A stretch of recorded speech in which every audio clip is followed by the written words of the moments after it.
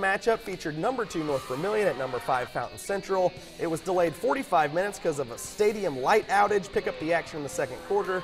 Falcons up seven, and Kobe Pierce looking deep, intercepted there by Ethan Lee. Big pick there. Mustangs get it back, looking to capitalize. Another hmm. interception. That time it's Braden Woodard, and Falcons D came to play. This time it's Jacob Earl. What can you say about this guy? We'll catch up with him later with Fantasy Stars of the Night. This is what he did to Fountain Central all night. Over 200 yards. It's like a broken record. He just keeps running and running. And North Vermillion gets a big time win.